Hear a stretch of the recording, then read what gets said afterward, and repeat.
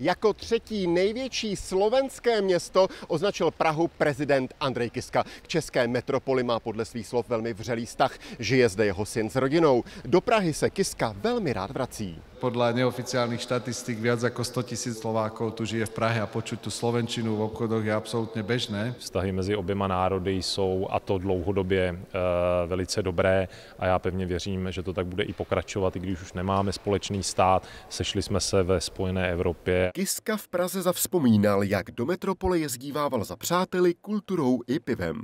S primátorem pak prodiskutovali problematiku zdražování bydlení a došlo i na téma Číny. Nejlidnatější země světa totiž začala rušit nasmlouvaná vystoupení těch českých institucí, jejichž název je nějak spojen s Prahou. Jde například o Pražský filharmonický sbor. Nové vedení města totiž začalo opět vyvěšovat na budovu magistrátu tibetskou vlajku a dovolilo si Čínu kritizovat. Čína je veľmoc so všetkými svojimi záujmy, ktoré v tom má spojené a tam sa ukazuje niekoľko rizik. Všetci by sme si želali, že ak zahraničný investor príde do ktorejkoľvek z našich krajín, tak prinesie svoje know-how, vybuduje fabriky na zelenej lúke a prinesie sa tu niečo z toho, čo tie krajiny vedia.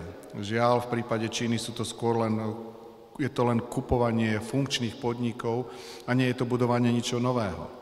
Kiska na akademické půdě Karlovy univerzity převzal zlatou medaili. Naopak řád Bílého dvojí kříže udělil Kiska za Slovenskou republiku Michalu Lukešovi.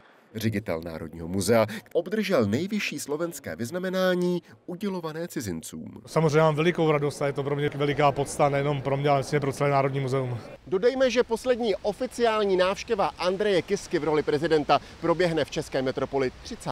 května. Z Prahy David Vozdecký, Teátry.